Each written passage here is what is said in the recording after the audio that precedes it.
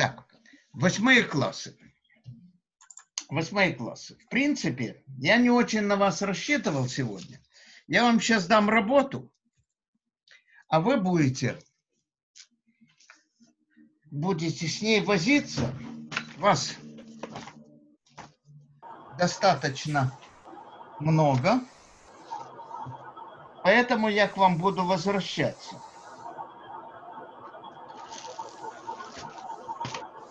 Ой, это все не то. Сейчас я найду, потому что я рассчитывал на старших.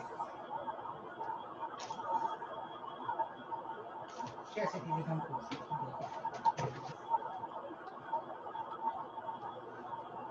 Так.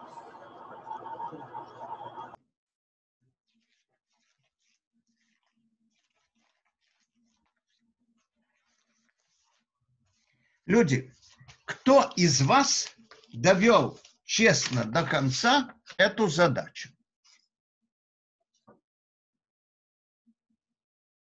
Восьмые классы. Посмотрите внимательно. Вы видите? Отвечайте. Отвечайте. Что, вы меня слышите? Я слышу. Так. Вот у меня задача. Видите, вот такая сеть. Три ромба по диагонали, вот перечеркнутые, вот в диагонали все сопротивления по одному ому. Все остальные сопротивления, даже там, где у меня длинные хвосты, видите, по два ома. И я эту схему преобразовываю, точки, видите, как называются? Посередине А, крайняя, потом Б, потом С, потом Д. Сверху Е1, F1, G1 и K1. Снизу то же самое с индексами 2. Теперь эту схему свернули в кольцо, в браслет. Так что D и А совпали, а К подсоединилась к Е. Каждая К к своей Е. И имея сопротивление, ну вот по диагоналям по единице, а все остальные по два, рассчитать общее сопротивление цепи. Тут есть несколько приемов пре... преобразования, понимаете? Если вы их пройдете правильно, то я с вами буду разговаривать дальше, потому что у нас пока идет разговор в одну сторону. Я вам даю задачи, а решение даже подсказываю, как решить. Решения нет. Так, вы меня слышали? Слышали. Все, работаем с этой задачей. Вы можете все потом мне на экране нарисовать свои преобразованные цепи. Но так, У меня- это Вот, десятый, одиннадцатый классы. У меня, значит так, у меня я вижу, сейчас я скажу, кто у меня. Радончик, это кто такой? Артем. Это Артем, восьмой. Э, Трегубенко, девятый. Боря, это тебе задача тоже. Вот на тебя самая большая надежда. Ты ее видел? Можете тогда показать еще раз? Еще раз. Тебя давно не было. Видишь схему? Да, Перерисуй ее. да. Вот эти ромбы, вот эти диагонали, на диагонали буквы подряд. А, Б, С, Д. Мгм. Да. И все сопротивления, включенные между этими точками, по единице. Да. Сверху и снизу буквы такие. Сверху Е1, F1, G1 и K1. Снизу Да. те же самые с индексом 2. Мгм. Потом эту схему свернули в кольцо, в браслет. Точку D соединили с точкой А, а точку К с точкой Е. Сначала К1 с Е1, а 2 с 2, а потом Да. будет наоборот. Но сейчас вот так. Все Мгм. остальные сопротивления, кроме тех, что на диагонали, по 2 Ома. Да. Найти общее сопротивление цепи. А при подключении в каких, какие точки? Еще раз говорю, А с D, Да. а К с Е. Всё. Мгм. К1 с Е1, К2 с Е2. Все понятно? Да. Давайте так, давайте сейчас все, включая и одиннадцатые, я уже вижу, кто у меня одиннадцатые. Не так их много, это Оля. И все. Вы попробуйте решить, она не такая простая даже для одиннадцатых. У мене вийшло 5 дванадцятих Ома. Покажи схему. Я не знаю, я її не розв'язував. Я хочу побачити, як ти перетворив, малюй.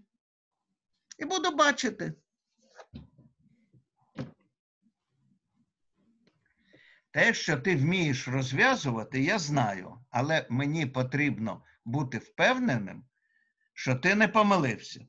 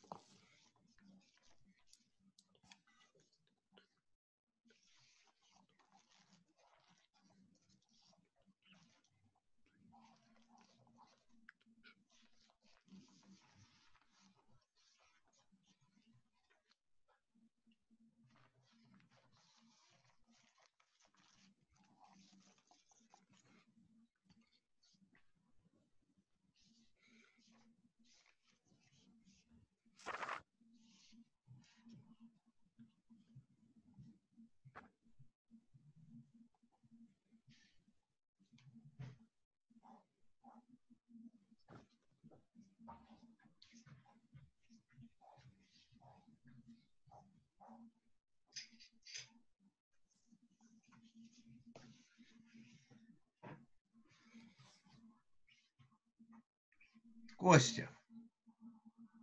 Костя. Що? Що? Малюй. Вони якось на екрані малюють. Ти знаєш, навчились. Я не вмію. М, Можливо, ти Алексей вмієш. Евгеньевич, вы можете включить Paint и демонстрацию экрана и там малювать. Я не слышу. Вы можете включить Paint, включить демонстрацию А, экрана. это, это демонстрацию экрана. Хорошо. Включу демонстрацию экрана.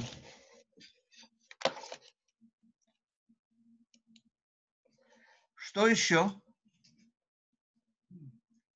Э, Вы сначала включите Paint, Я уже включил. а, нажимаете на зеленую кнопку демонстрации экрана, Уже назвал демонстрацию экрана. э, дальше ищите там Paint, Это я не вижу. Там будет такая панелька, Давай я выключу. И все равно вы будете рисовать. Я вам только советы буду давать. Я за вас решать не хочу. Ты понимаешь? Первое, что нужно сделать, кто понимает. До того, как мы свернули. Люди. Ну, должна сложить по оси. По оси АД. Пополам. Почему?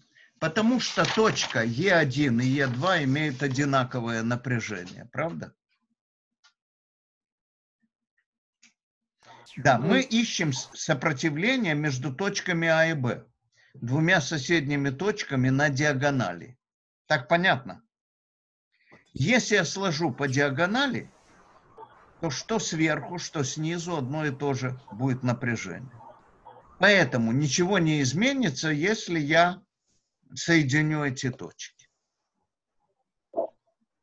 А это будет означать, что теперь все сопротивления дальше продолжайте. Меня нет. Я не буду рисовать на экране, потому что рисовать на экране это значит за вас решать.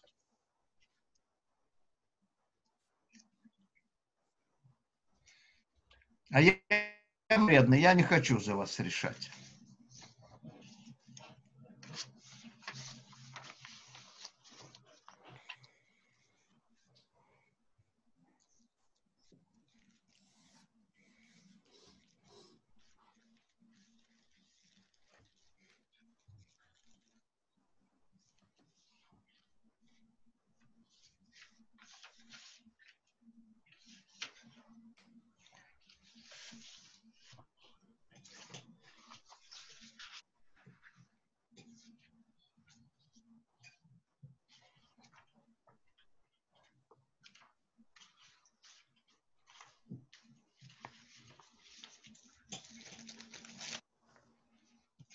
Коля, Семенякин, ты Ага. меня Да, слышишь? я здесь, да.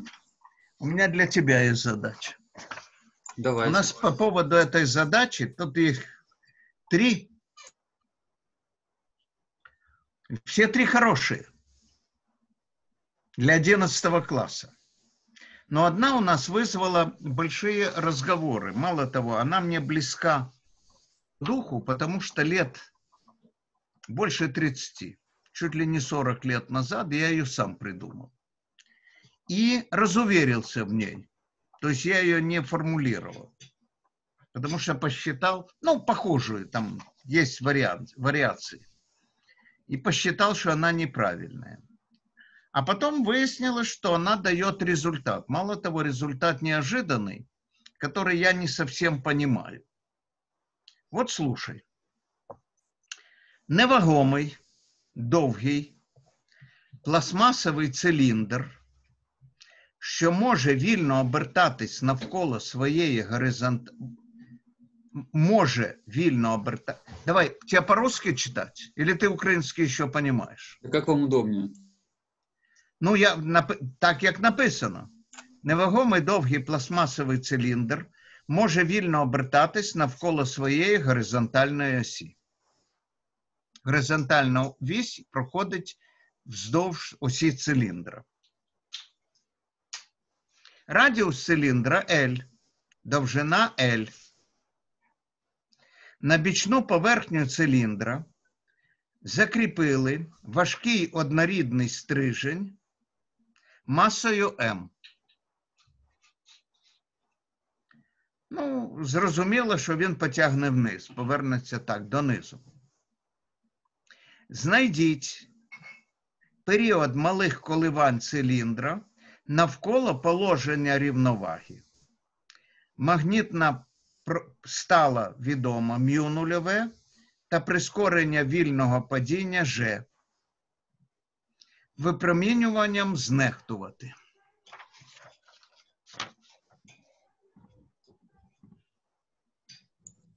Сейчас я, я чуть не могу понять. Э, Он как бы маленький цилиндрик, он закреплен как вдоль оси или перпендикулярно? Да. Или перпендикулярно? По-моему, перпендикулярно он закреплен, да? Нет, ничего перпендикулярного. Вдоль, да? Да, вдоль оси. А Ага. снизу прикреплена тяжелая пластинка массой М. Мгм. Но она как бы, ну да. мгм. Да, теперь его взяли, чуть-чуть отклонили от вертикального положения и отпустили. Он совершает крутильные колебания маленькие. И нужно определить их период. Мгм. Я, я не совсем понимаю, зачем здесь магнитно стало, но я подумаю. Смотри, там магнитное поле еще есть или что? Я тебе даю пять минут сначала сообразить, а потом мне рассказывать.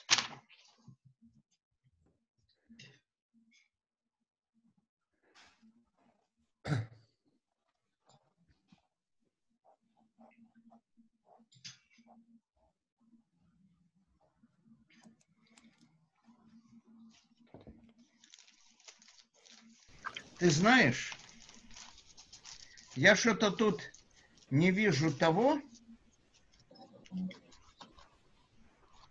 что должно было быть написано. Сейчас, подожди минутку, я...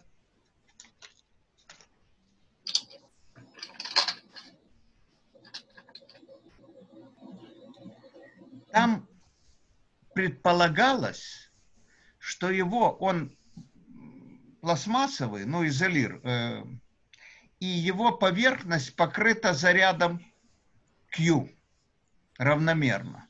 А. Мгм. Ну тогда... Его поверхность равномерно укрыта зарядом Q. Я почему-то этого не прочитал.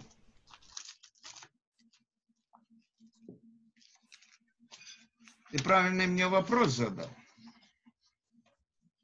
Ну ладно, я подумаю, как, что здесь надо учитывать, что не надо.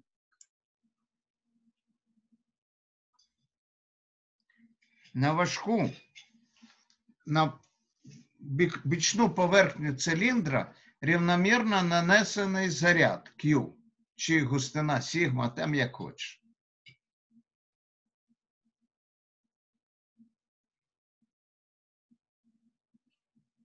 Это вам.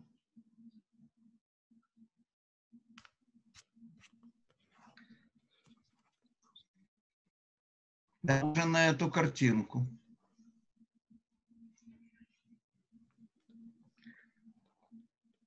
Боря Трегубенко, очень, очень похоже на эту картинку, но это не твоя задача, 11 классов. Оля, ты решай сначала расчет цепей, потому что с этой задачей Володя Кузяра, значит, ты будешь общаться, Артем Мамичев, Володя Кузяра, и Да. вы будете общаться сейчас с Колей. Коля, Мгм. покажись.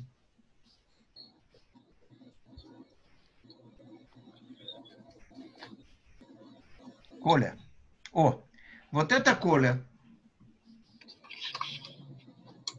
Э, А почему физтех? Ты что, в физтехе сейчас? Коля? Или у тебя такой сайт?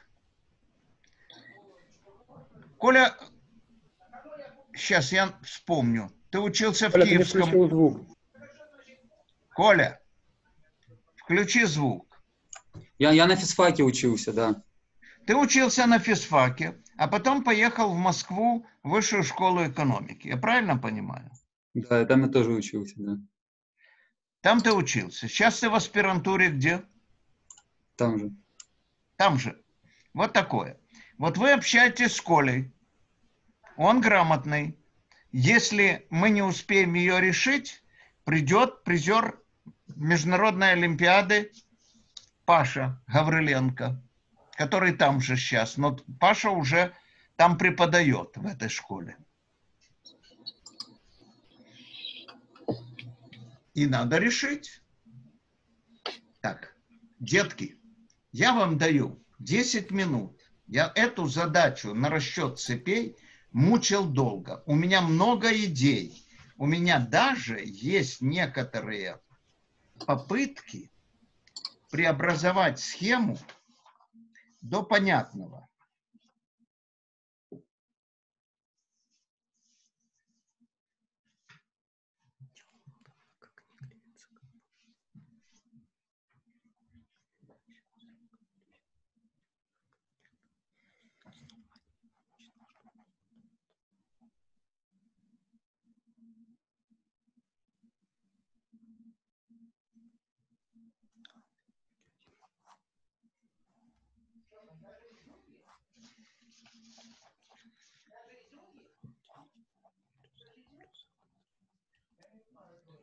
Оля, тебе задача понятна на расчет цепей? Нет, я пришел позже задачи. Так, Коля, ты утверждал, что, значит, Костя уже даже ответ получил. Но я не доверяю. Ты пообщайся с Костей, у тебя же, наверное, тоже есть ответ, Коля. Пообщайся с Костей, может быть, с Денисом. Если у вас совпадут ответы, вы будете меня добивать ими. Хорошо? Коля, ты меня слышишь? Да, я понял. Хорошо. Ты знаешь, какая задача? Вот это, ненавистная всем. Да, да, я понял. Давай.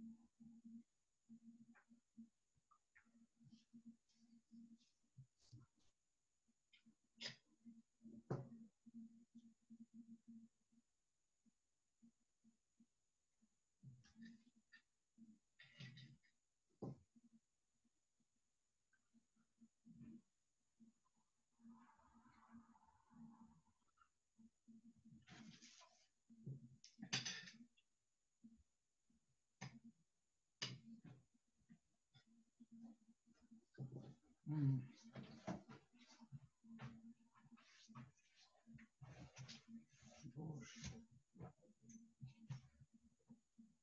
До чего дошло? Просто воруют.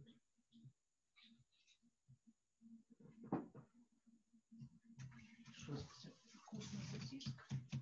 Посмотрите, какой смог стоит. Глянь. Алла, это из Чернобыля.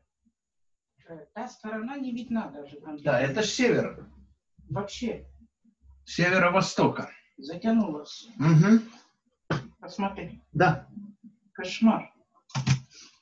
Что же это делается? Это ветер подул таким образом.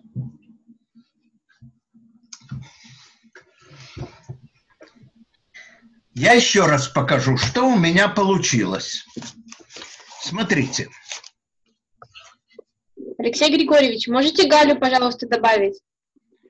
Галя, а у меня свободный вход. Я добавил. У нас свободный вход сейчас.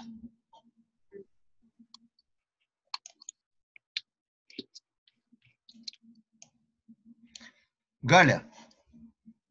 Галя. Да. Мы с тобой договорились пройтись по ЗНО. Ты открыла раздел физика атома, да? Э, нет. А Ещё- какой? Я пока еще никакой не, не открыла, я только сейчас пришла. Что в школе?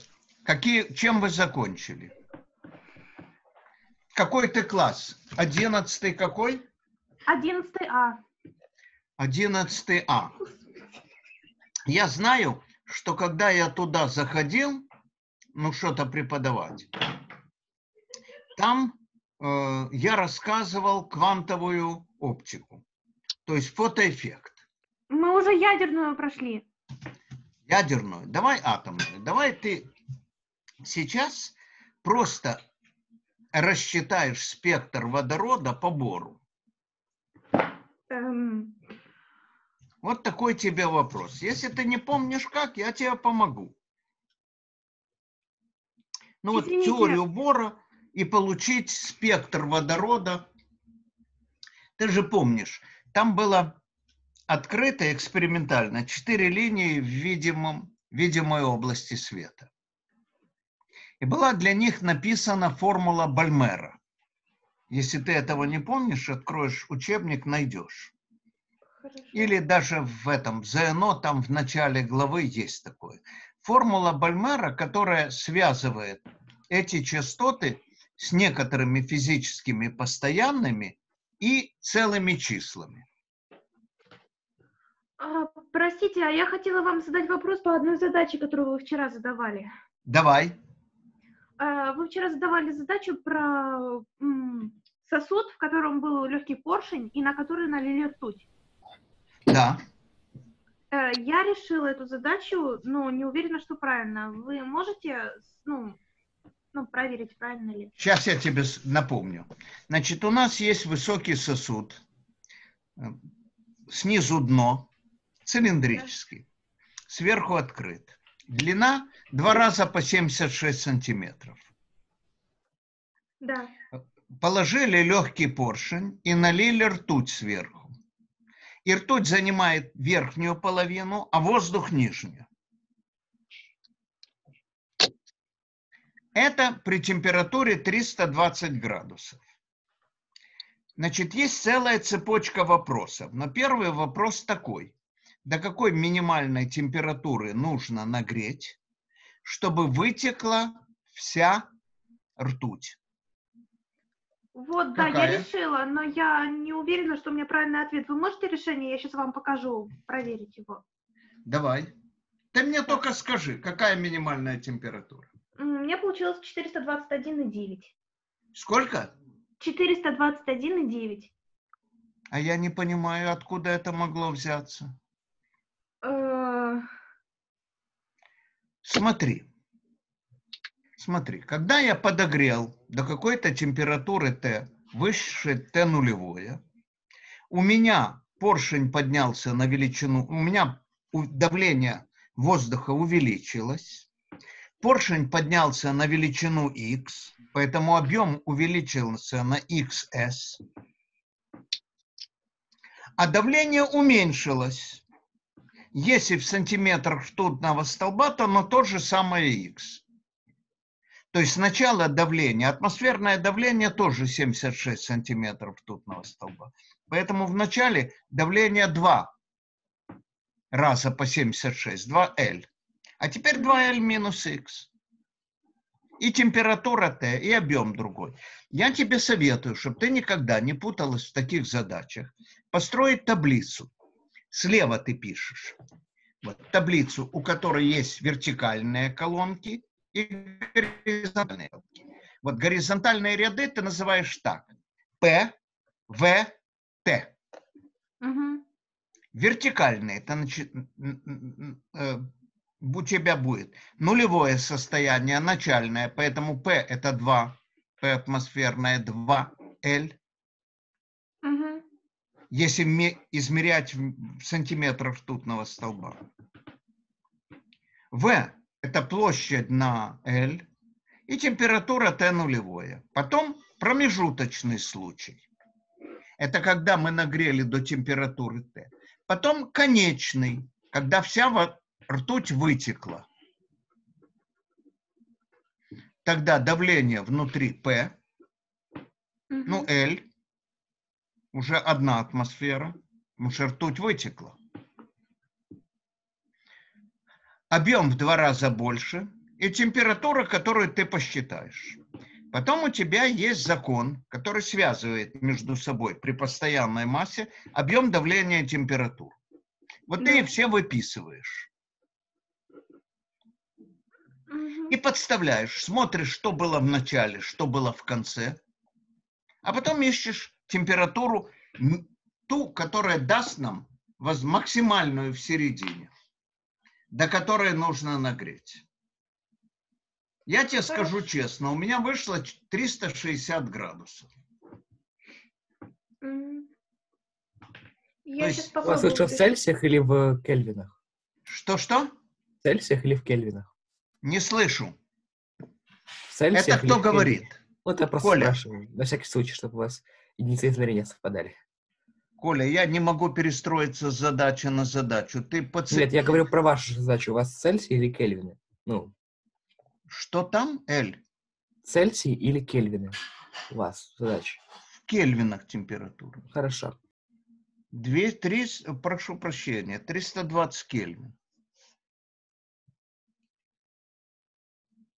Иначе было бы очень неудобно считать.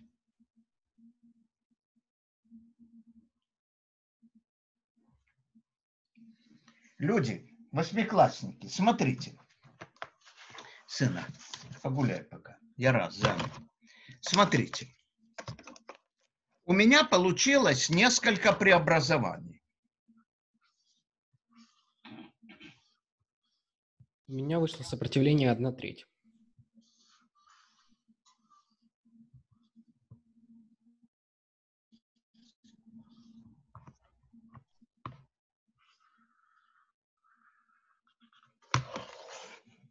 Первое преобразование вот такое.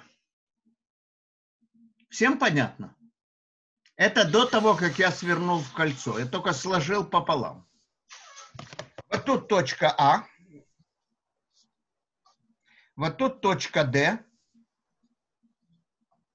Тут точка К. Тут Е.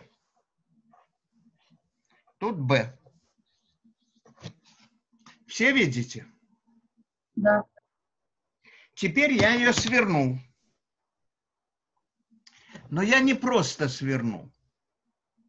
Поскольку у меня будет три треугольника, построенные кольцом, я нарисую так.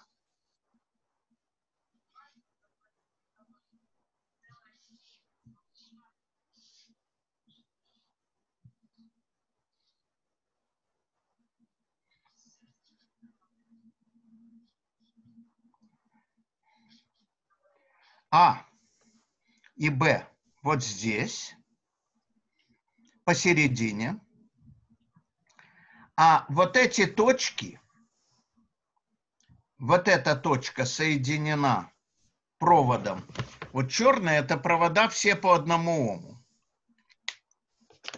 А красный это будет провод, который не имеет сопротивления. Так нельзя разве соединить точки, между Вот, которыми смотрите. нет сопротивления? Видите? Да. Да. Я еще повернул так, чтобы А и Б были посередине, а вот эти точки соседние, это точка С.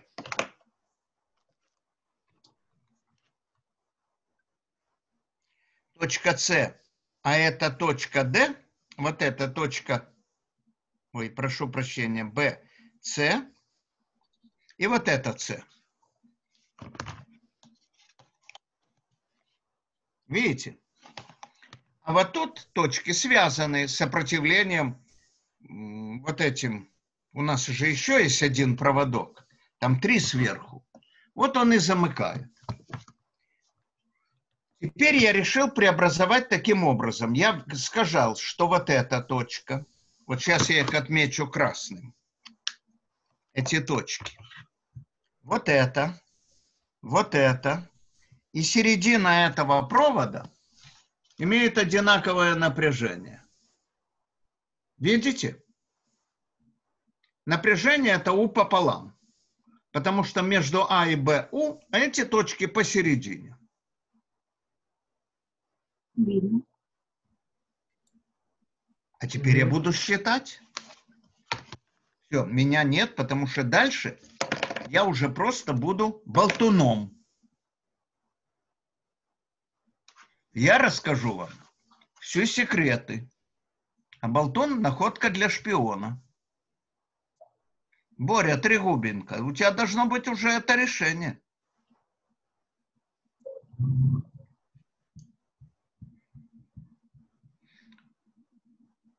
Ну, я считаю, я, я по-другому брал.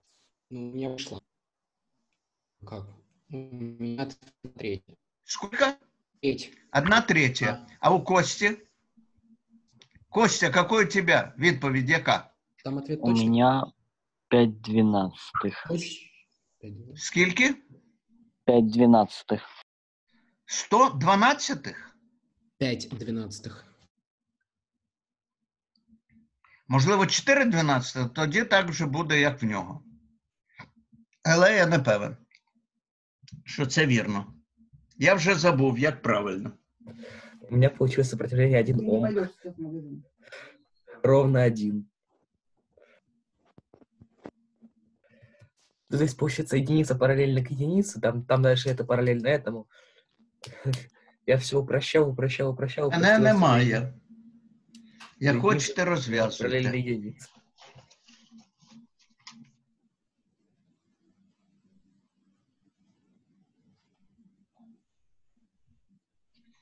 А можно вопрос по поводу задачи с цилиндром? З чим? Цилиндром задача, которую вчера давали. Да. У меня получается квадратное уравнение, вы говорили найти x вершины. Ну, У, у нас квадратное уравнение, значит, у нас, сейчас я тебе скажу как, t зависит от x мгм. квадратичная зависимость, правильно? Да. И у нас при t равном, на- и у нас при x равном нулю и x равном L одинаковые значения да. температур. Проверь. Мгм. Проверила? Сейчас. О, проверь. То есть на концах у нас равные температуры.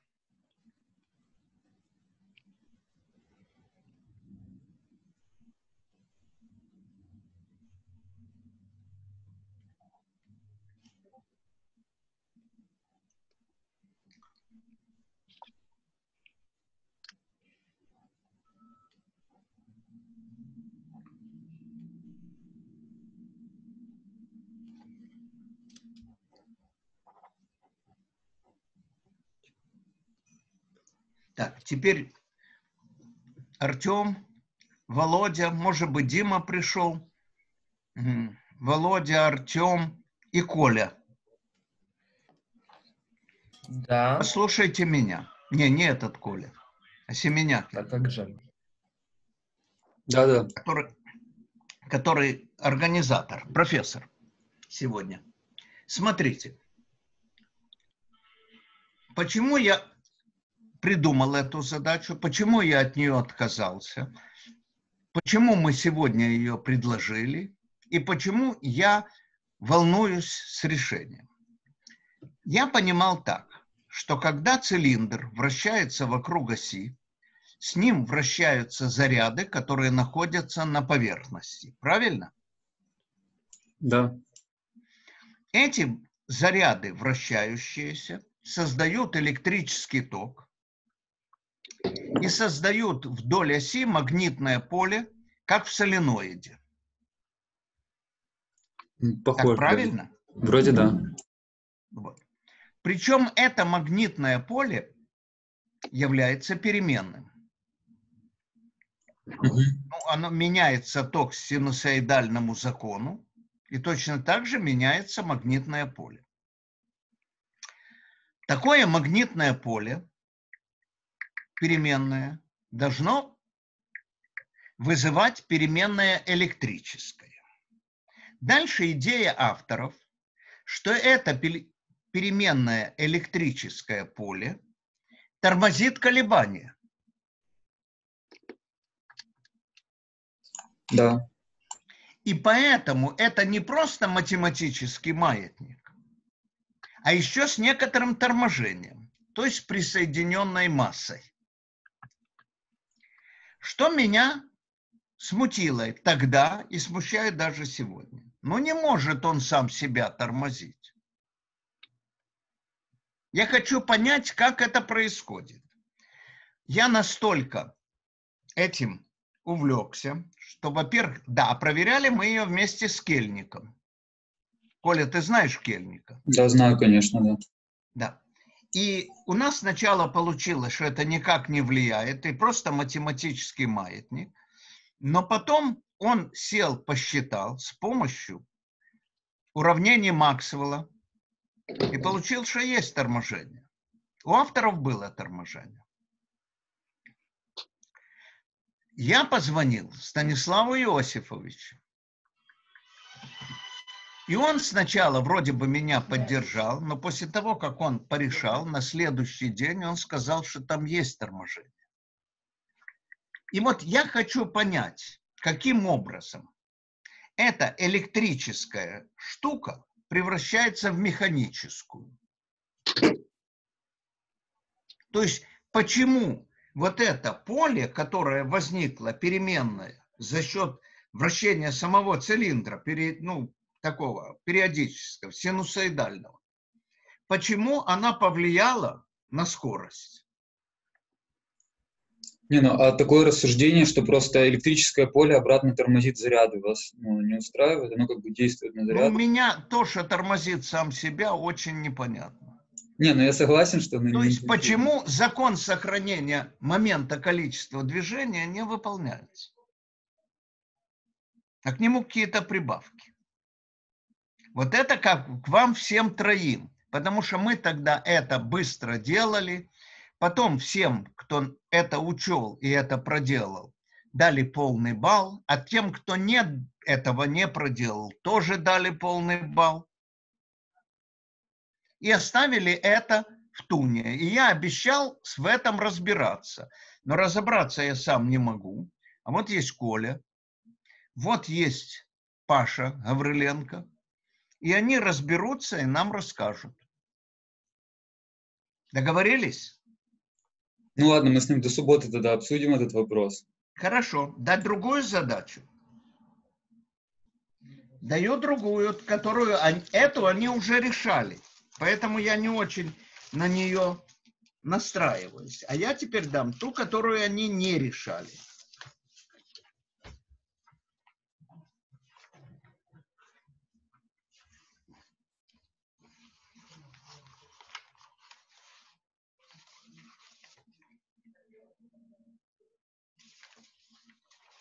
Так, ту, которую вы не решали.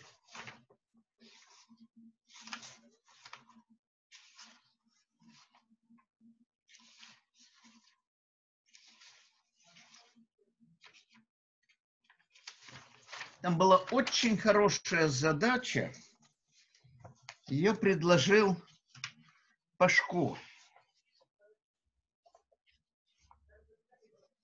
Но если я ее найду, вот я уже кое-что нашел, когда найду, вам скажу.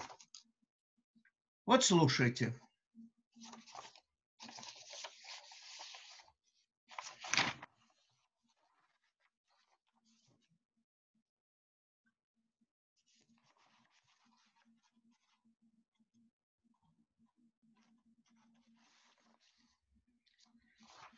Давайте так. Одну я вам уже говорил, я ее прочитаю. Они все ужасные.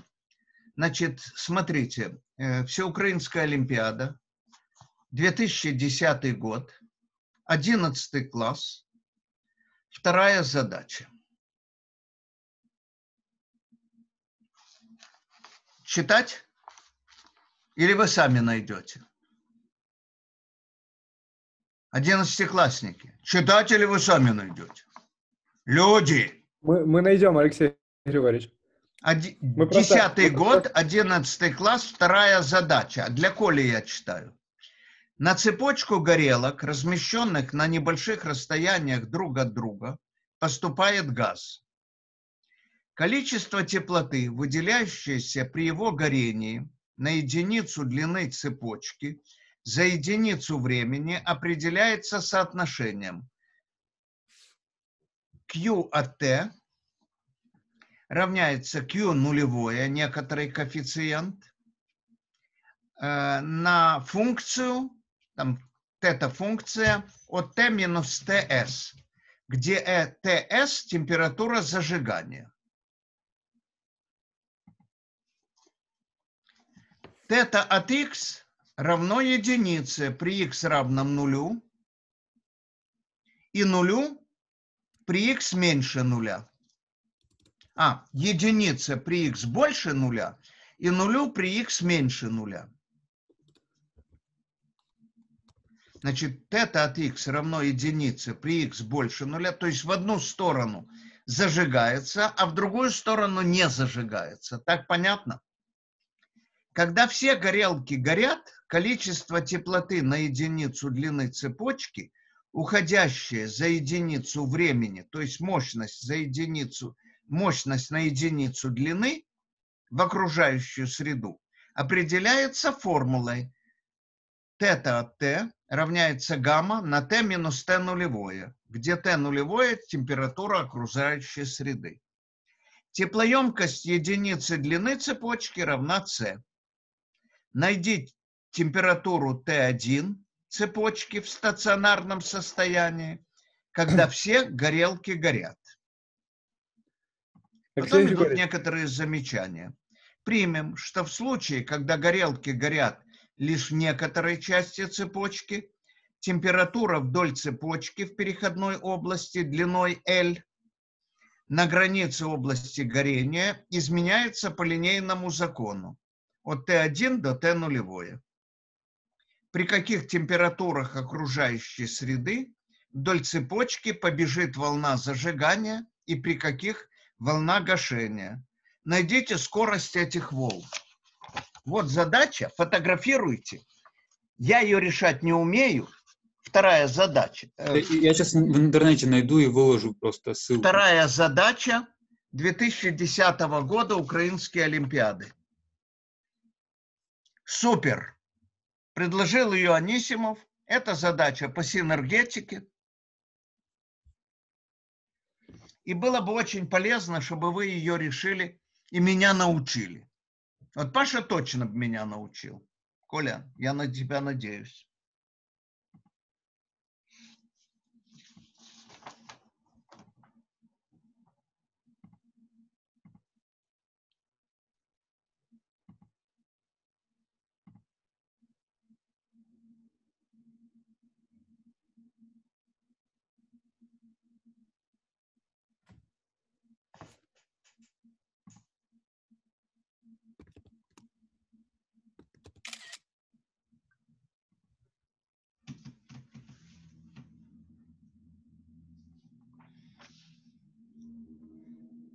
Так, восьмиклассники.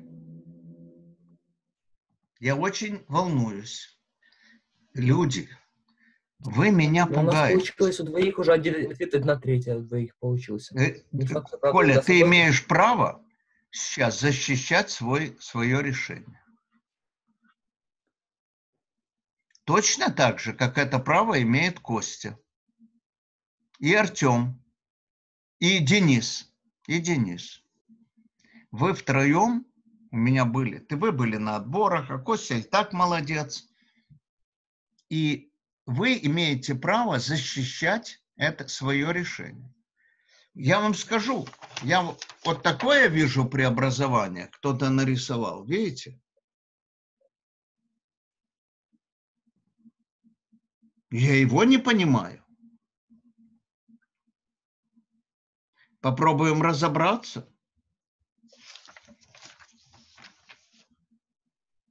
Я пойду погуляю, потому что я много говорю.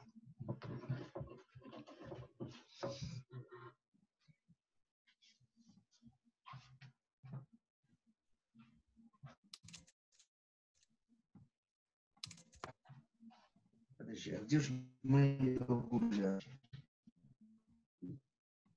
Это, а вот тут, да? Вот это. Я ж не дошел, не донес, не до- за недонесение даже отвечать. Ну да. Ой.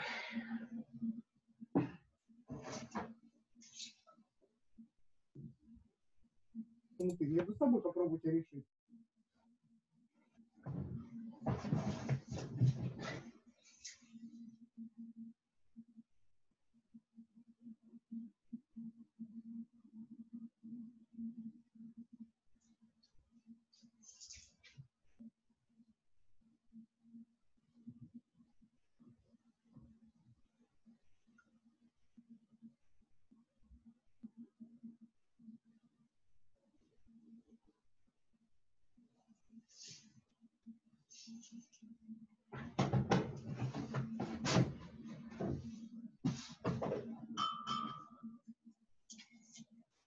Она, они две бутылки подменили. Нет. Смотри. Вот это четыре таких. Таких четыре. Одна вот такая, вот такая. Это другое. Ну да. И что? И одна вот такая.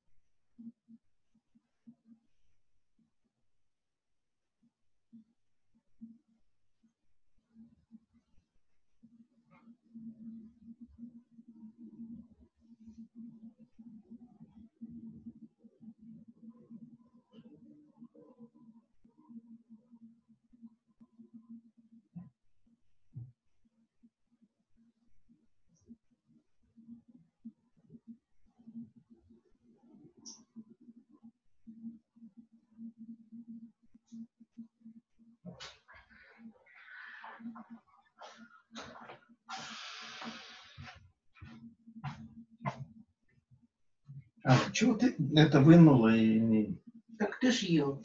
Нет, я отрезал. А, ну так э, я ж сижу, молчу. Ну, можешь дать мне. Что у меня это? Отобрали. Ну, другую коленку. Хорошо.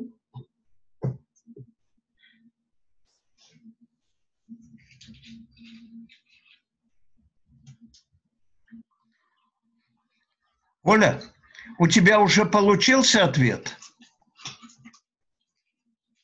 Ну, что-то вроде ответа получилось. Я у Оли спрашиваю. Не Коля, а Оля. В задаче с трубкой, с цилиндром. Пока что нет.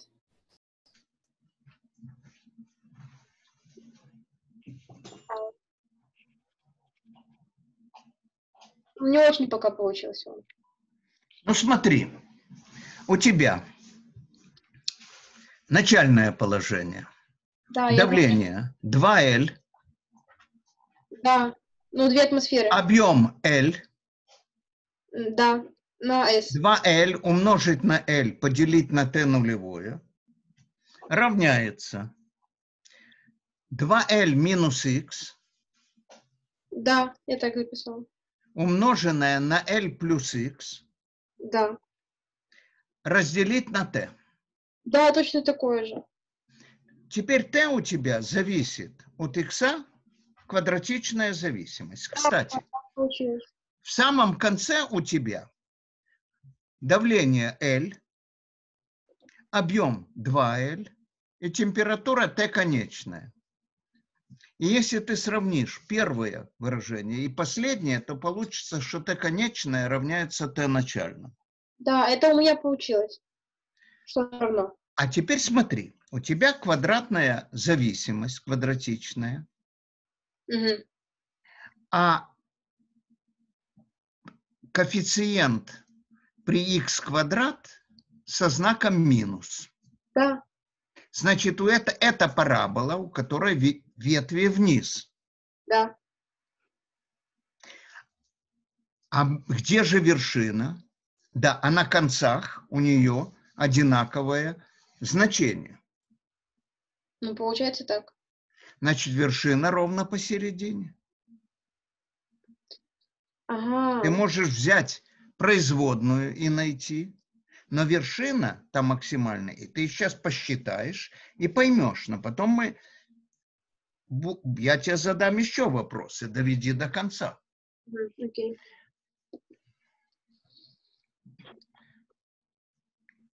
Так, дорогой мой, там двоек и в помине нету. Боря, откуда там двойки? У меня по оси единицы. По внешней оси. Все остальные двойки, когда я сложил пополам по Да. диагонали, по оси, Да. то у меня все стали единицами. Вообще все. И ни Абсолютно. одной двойки не осталось. Не дури Мгм. меня. Тоже нет. Ладно, тогда... Стоп, Ты- а двой... Ты меня сейчас, Боря, заставишь решить задачу. Это же вопрос, будет э, преступление. можете еще Давай, раз, работай. Можете еще раз покажа- показать туда фотку? Давай, я- давай. Покажи еще раз. Давай еще раз. Покажи. Рисунок что? Сейчас он перерисует. Может, кто-то все же покажет нормальное расположение сопротивления? Ну ладно, я поверю вам, что там единички. Э,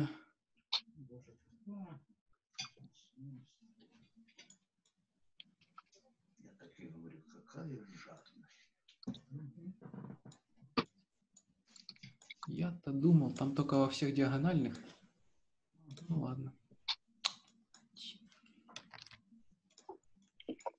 Так.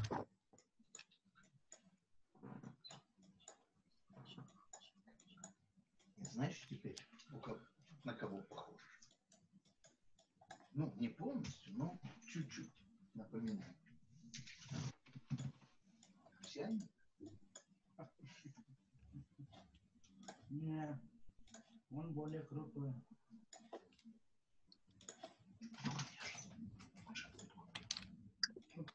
Вот, А, ну, правильно, он более, он круче. по-моему, коньяк. Она. И не закусывает.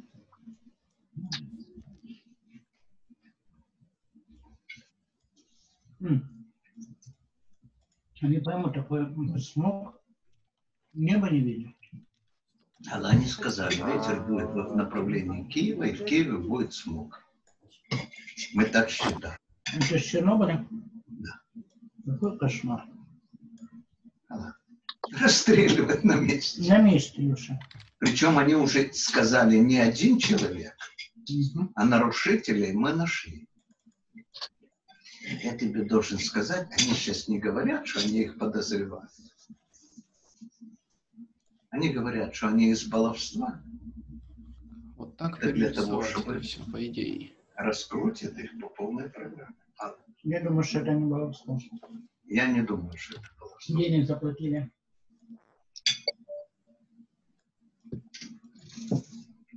Да, но ведь схема ж не симметрична. Ну, есть, если бы схема была симметрична, то схема можно делать только так, только когда потенциалы равные. Да, но мы же не можем. Но там же Иначе течет, течет ток, значит. Если ток течет, бы, соответственно, было... Если ток течет, значит, соответственно, там, не- там есть разница потенциала, соответственно, они не одинаковые. Ты А если там были равные потенциалы, то оно бы вообще не текло. Я ее специально нарисовал. Ты знаешь, АБЦ. Ты понимаешь, я не верю тебе. Я говорю, что вот в всех э, точках, ну, Я тебе отвечу. А, АБЦ, да. Это у тебя правильно, Боря. И, и это ты смотришь сверху, да? да, я смотрю, я как Да, да, да, да, да. Я понял. Я же не все понял. Все. Но я не, не уверен, народ. Поговорите с ним. У нас желтая линия это линия равных потенциалов. Ну, оранжевая. Ты знаешь, когда я рисовал и свернул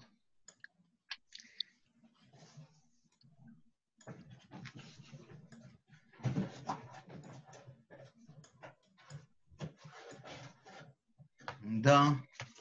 А оранжевая линия это просто мы закоротили Ну да, равный по да, оси. Да. Так. Так, у меня к Коле вопрос. Коля, ты с ним согласился? А Костя, ты с ним согласился? Первый рисунок э, согласен. Второй рисунок сейчас думаю. Думаешь, что у меня у тебя нравится, тебе нравится, что тот факт, что он не соответствует твоему рисунку, ты по-другому как-то преобразовывал. Ты не говоришь сразу, что это неправильно.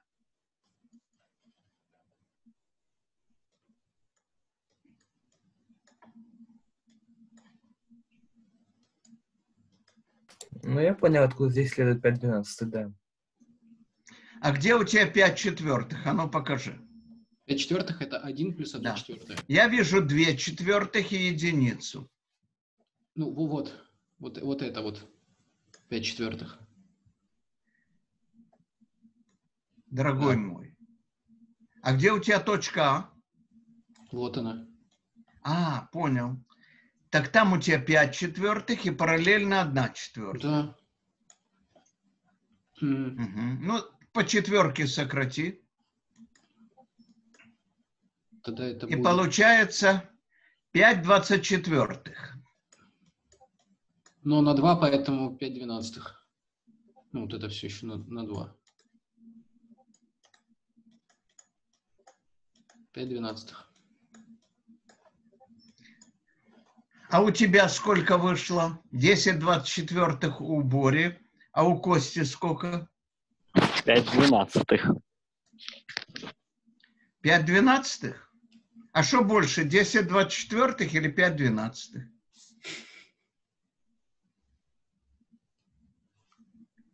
У Бори 10 двадцать четвертых, а у Кости 5 двенадцатых. У кого больше?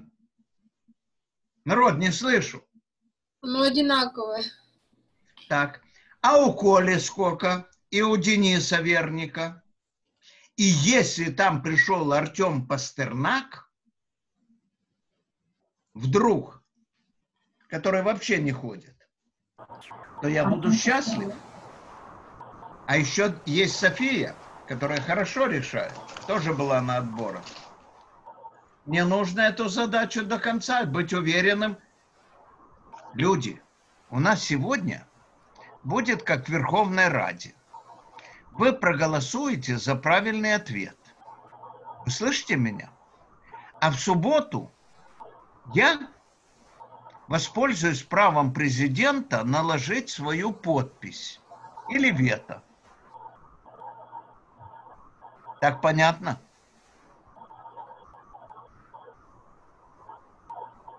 Так что если получится правильно, это будет супер.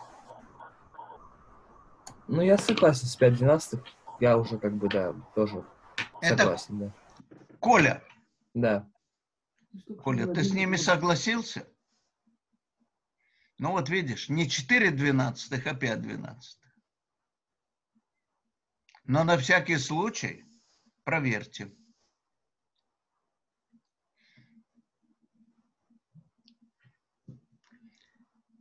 Значит, э, Коля Семенякин, Да, я тут. у меня, мне не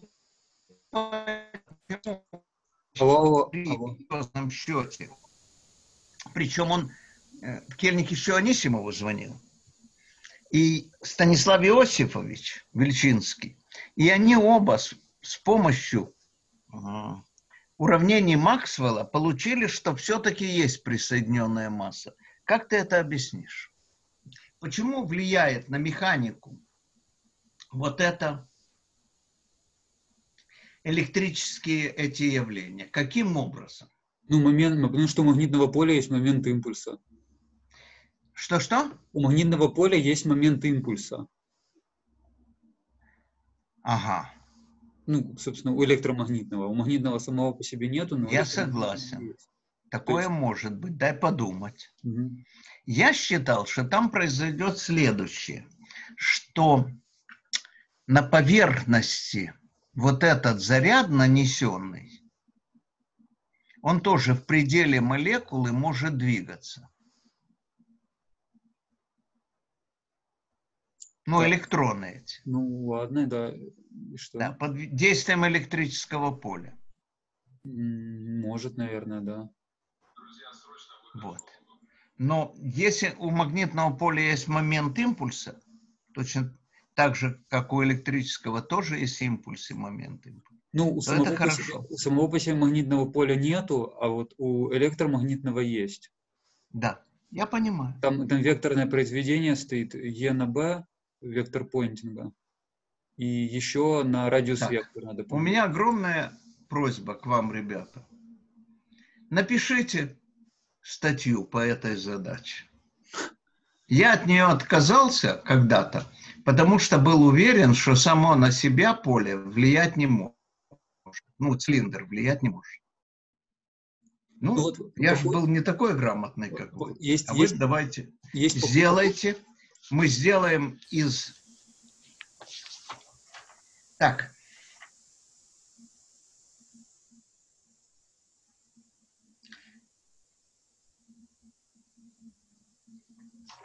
Поехали дальше. Люди, за вами осталась задача, а я читаю задачу, которую я очень люблю. А, ее уже решили. Извините. Давайте легкую. До кінця підві... Ну, давайте я, поскольку Коля уже отвык от украинской мовы. К концу подвешенной вертикально пружины, масса которой можно пренебречь, я их сейчас усложню, подвешивает груз массой М. Затем к середине уже растянутой пружины подвешивает еще один груз той же массы. Определить длину пружины после всего, если ее жесткость равна К, а длина в нерастянутом состоянии L, нулевое.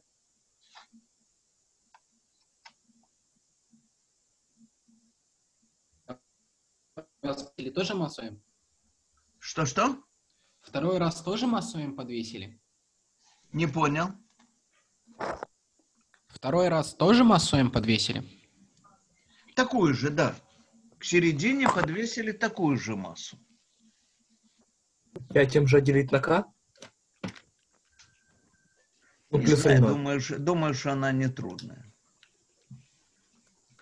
О, ясно.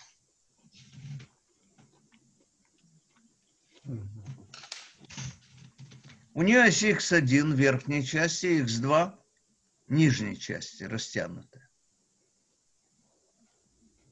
Верхняя часть имеет и нижняя часть, половина, имеет э, упругость. Какую? Половина. Верхняя половина и Канадва. нижняя. Какую? Канадва, ну типа, ну, потому что, Что значит на два? ну, половина жесткости или нет, в, нет, наоборот, даже иметь Два больше. Два. Два А ну исправьте его. Расскажите Два ему, К. как правильно. Чтобы я он- понял, 2К. Уже. 2К. Да. Это я перепутал с параллельным С соединением. перепугу. Тебя никто не должен запугивать. Даже я. Значит, 2К. Да Какого перепугу? Я с- перепутал, имею в виду с параллельным соединением. Ага. А как, чего там оно параллельное? Вот. А нижняя и такое же имеет. Но на верхнем с какой груз висит?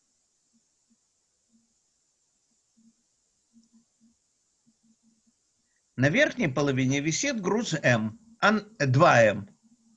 2М. А на нижней половине М. Вот теперь считайте и складывайте.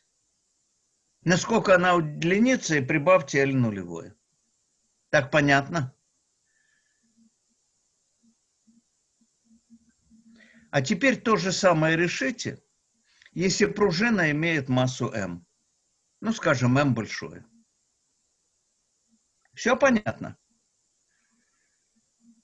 Люди, эта задача была очень легкой. Она утешительная была на Олимпиаде. Вообще, я очень уважал Семена Устиновича Гончаренко, потому что это он был одним из организаторов всеукраинских Олимпиад. Но задачи, которые он давал, они всегда были легкие. Это его задача. Ну, даже не его, они откуда-то брали и так далее. Давайте ее усложним. Известна еще масса пружин. Если ее повесить, то она уже растянется под собственным весом. А теперь еще грузы навесили. Доведите до конца. Все восьмиклассники. Так, А мы считаем, что масса действует только в центре масс как точка? что-что? Что масса пружины действует как точка в той, ну, в середине пружины? Да нет. Ты просто рассмотри, вот насколько растянется, просто без всяких грузов, пружина под действием своего веса. Сначала реши эту задачу. Если ты сумеешь, ну, там интеграл надо писать, но поскольку мы не знакомы с интегралами, то выйди как-нибудь из этого положения. Разбей на маленькие кусочки. А между ними, между кусочками, включи пружинки маленькие. Просуммируй и получишь. Я тебе популярно объяснил. Коля, не отвечаешь. Взял пружинку, разбил на кусочки, на шарики. А между шариками вставил маленькие пружинки. N шариков, N пружинок. К потолку подвешена пружинка, внизу шарик. Масса шарика – это m большое, деленное на n. Жесткость маленькой пружинки ты сам знаешь. Только что ты правильно сказал. Поехали. Костя, у тебя уже есть ответ? Костя, Нет, пока еще нет. давай, давай. Відповідь давай. Коли ще пружинка має масу, скажімо, М велике, а М маленьке це маса оцих грузиків, які ми додатково підвищили внизу і посередині. Так, 11 класи. Оля. Оля. Да, да, у меня получился график, все, что дальше делать? Так. А какой должен быть x? Чему равен x, чтобы была максимальная температура? А, Нулю. Ну да, у ноль. Как ноль?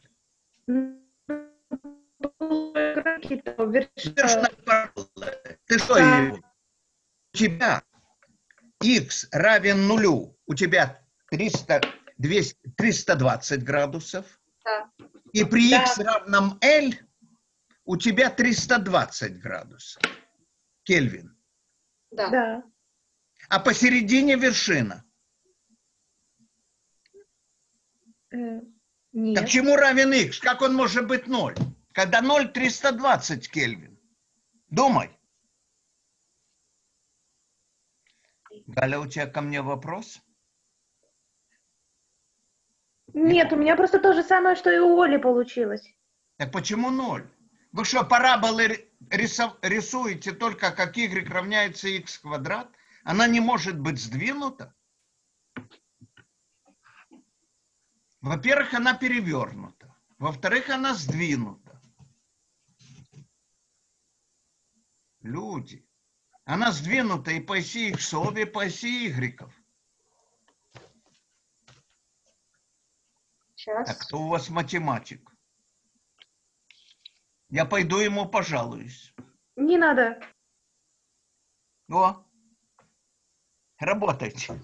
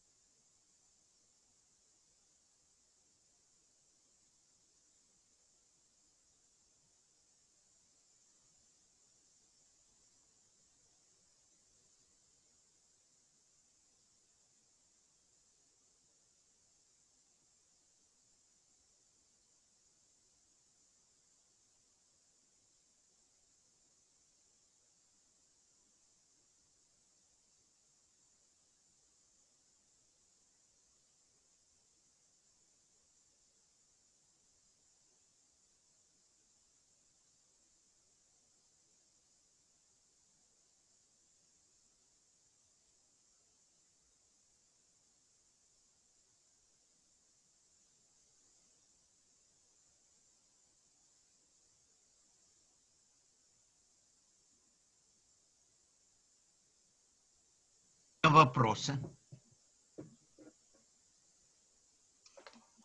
Я не А знаю, как сделать да. только, чтобы была просто масса пружины. У меня получилось, Наш- типа...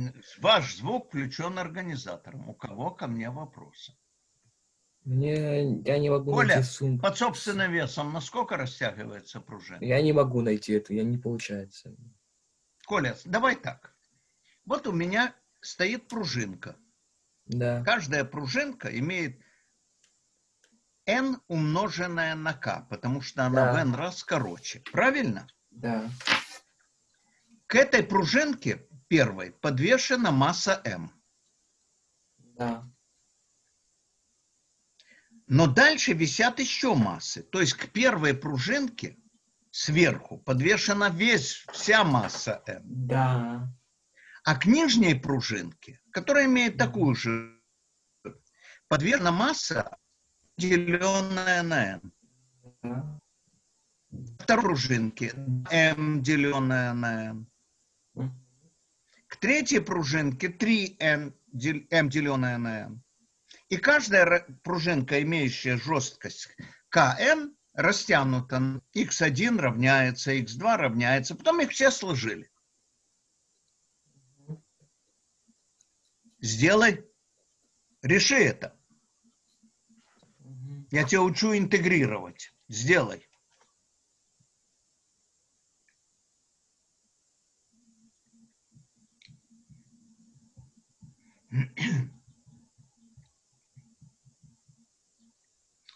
Володя, Кузяра,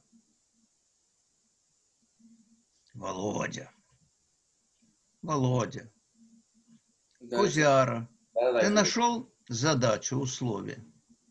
Которая с Юкра, да? Да. Ты понимаешь, что там происходит? Мгм. Сначала физику. Там волна зажигания пойдет. Да. Но самое главное, что она идет в одну сторону. Мгм. То есть она бежит по кругу. Не с двух сторон по кругу, а в одну. Мгм. В каком случае она будет устойчивая? А в каком случае она будет затухать? Вот это их спрашиваю, вот это они спрашивают.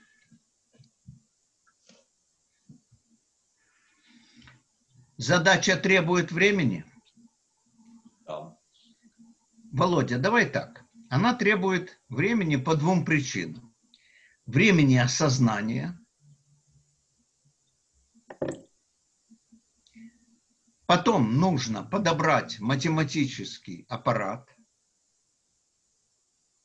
А потом придется искать решения и ответы. Это самое приятное, когда уже все понял. Ты со мной согласен? Да, Игоревич.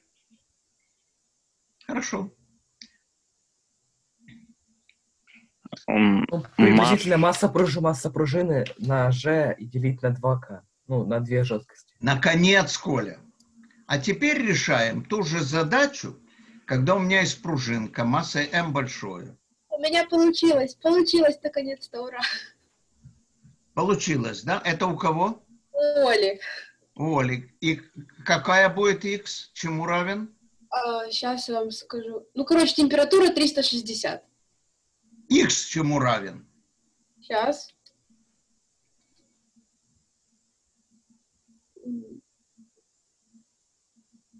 По графику. Смотри, 38.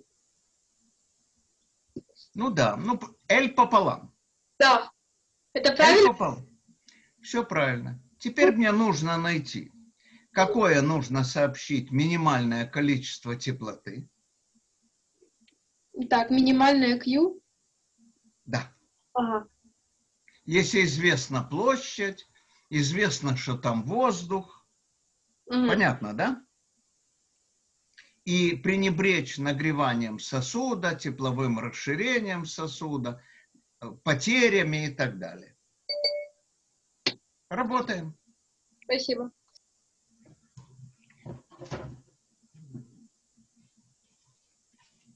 Боже, какой счастье.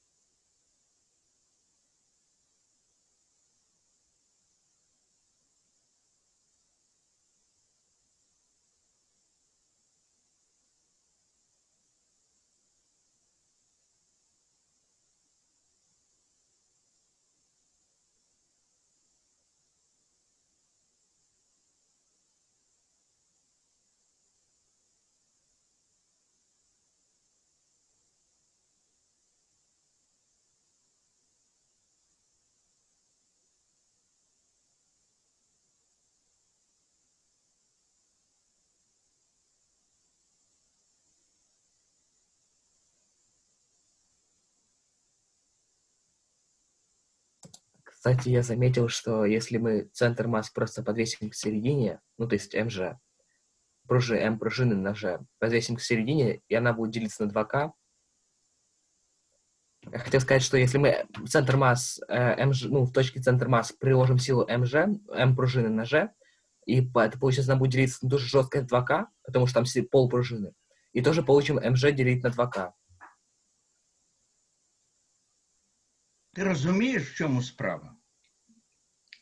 В чому справа, що верхня частина працює, нижня частина окремо, верхня частина ок- Каж- Кожна розтягується. Ви мене чуєте? Ви мене чуєте? Звук Так, мій вас чу... чуємо, Ми вас чуємо, чуємо так. Так, верх... нижня пружина розтягується по-своєму, а верхня пружина по-своєму. Да, ну просто если мы возьмем типа буквально среднее растяжение, то оно ж, ну, буквально там- Найдите и сложите. ну, то есть Люди, ми, буквально провели Я не в, помню. э, графике среднее. я не пам'ятаю, цю задачу ми розв'язували, коли в нас енц- тома енциклопедії лежали Да, да, один про на дома одному. энциклопедии мы ре- решали, там получился.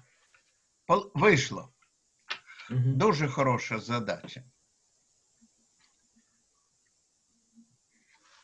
Давайте ще одну. На дні озера знаходиться неповна, закаркована скляна пляшка, у якій міститься 1,3 кг олії. Знайдіть роботу, яку треба виконати, щоб підняти цю пляшку з відойми на борт катера, який знаходиться на висоті 3 метрів над поверхнею води. Порожня пляшка має масу 200 грамів, а її зовнішній об'єм 1,5 літра. Пляшка в нас чого? Це з тої ж Олімпіади А з чого по- чаша? 10-го року. З чого пляшка? Восьмий клас, четверта. З якого На матеріалу дне пляшка? озера, давайте теперь по-русски. На дне озера находится неполная закупоренная стеклянная бутылка, в которой содержится 1,3 килограмма растительного масла. Найти работу, которую нужно выполнить, чтобы поднять эту бутылку со дня водоема на борт катера, который находится на высоте 3 метров над поверхностью воды. Пустая бутылка имеет массу 200 граммов, а ее внешний объем полтора литра. Мы ее доведем до конца, а потом скажем, чего там не учел автор. Того, что бутылка может... ну, а может она, учел? э, Сама будет ускоряться и вылетать из воды? Так, мы ее поднимаем за горлышко. Вот это главное, что я хочу сказать. Если мы оторвем ее от земли, то она начнет всплывать, скорее всего, потому что она... внутри. Не слышу. Но Если мы ее оторвем от э, дна, она начнет сама всплывать, потому что там у нее плотность, по идее, должна быть меньше. Нет, она так лежит, что там под нее подтекает. Там дно каменное. Угу, хорошо. Значит, Я понимаю щас- твою, твою, твою идею. Если там дно илистое, то она там утонет, и надо будет оторвать от дна сначала весь вес. Я просто имею в виду, что она может быть... Мы с этим, ускоряться. мы в этом варианте, Коля, ее зададим в следующем году восьмиклассникам. Я тебя возьму в эксперты. Поехали. А яка глибина вод... ну, водойми? Какая глубина вод- водоема? Леша, Хочешь, я тебе скажу?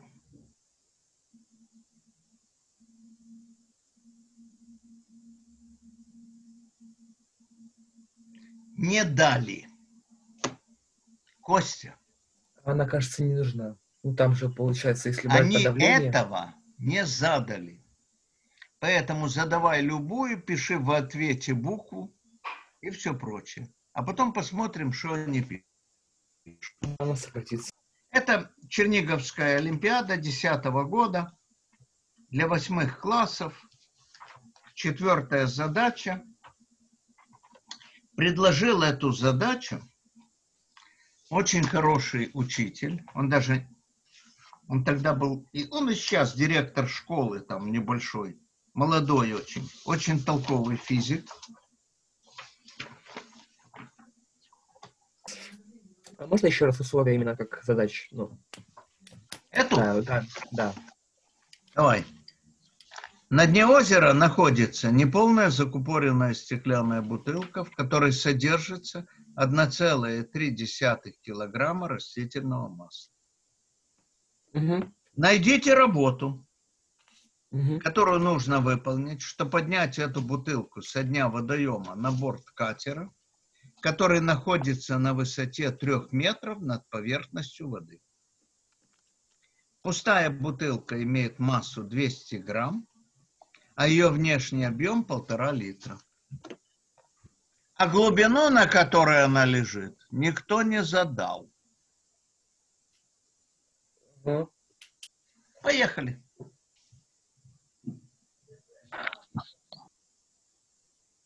На них будем писать, Костя.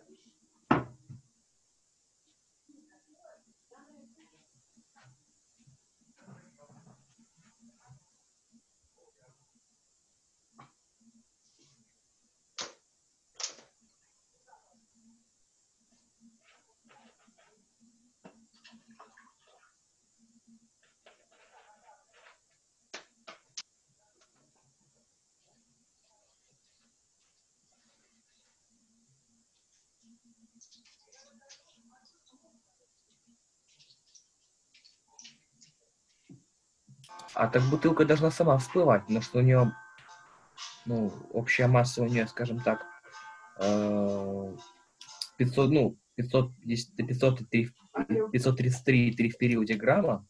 И да, получается, что сила, с которой она давит, это будет что-то около 5,3, ну, 5,3 ньютонов, которой она давит вниз, а вверх она будет подниматься с силой 15 ньютонов. Из-за того, что у нее объем полтора литра, а там 10 в третий на 10 минус третий сокращаются, и получаем еще домножаем на 10, получаем 15 ньютонов вверх. И что она сама всплывет, эта бутылка. Беседуйте друг с другом. Я тут ни при чем. У меня своя поправка есть.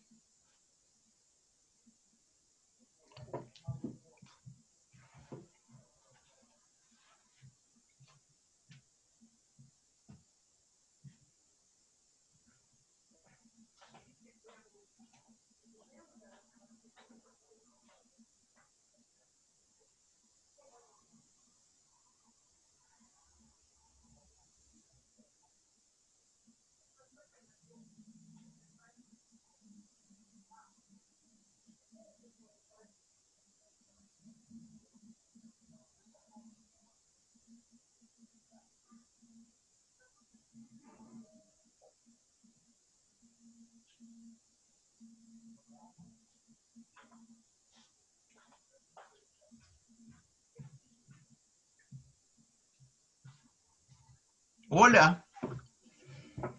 Оля. Да?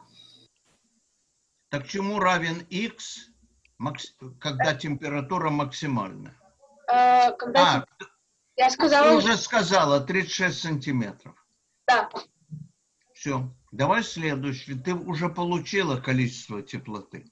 Количество теплоты еще нет. Я сейчас все это Разберемся. На что тратится теплота? на поднятие поршня. Нет. Там два слагаемых.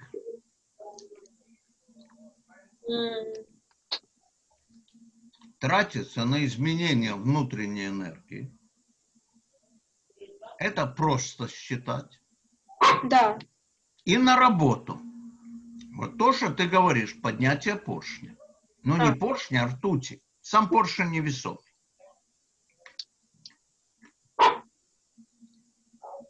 Там нельзя написать ЦП. Там теплоемкость будет все время меняться. Ты это понимаешь? Когда у нас давление постоянное, мы пишем ЦП. Это ЦВ плюс Р. Да. Ну, Тут так нельзя сделать. Это называется закон Майера. Посмотри, вот в этой книге это хорошо написано. Сколько у газа теплоемкости? Тарасов и Тарасова вопросы из задачи по физике. Да, хорошо, посмотрю. Давай. Но тут сложнее. Тут все время меняется давление. Согласна.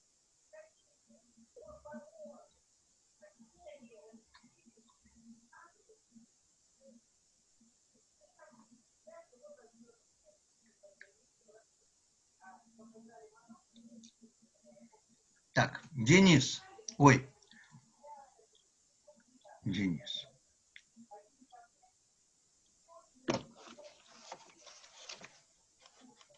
Артем. Артем. Мамичев. Мамичев. Как задача по синергетике?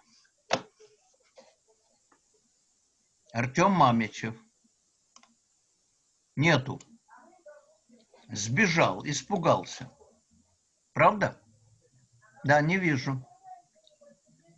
Володя. Володя. Да, Алексей Григорьевич. Ну, хоть что-то понятно в синергетической задаче.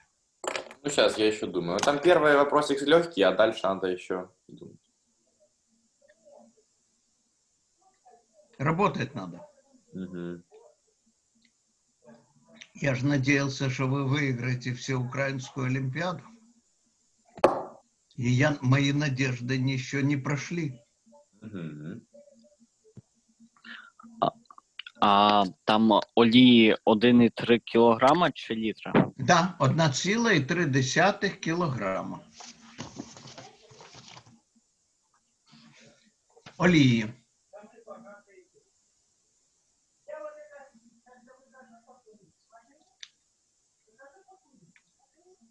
Мені здається, що ти вже зрозумів, в чому там справа. Що твоє питання було не дуже доречним. Думай.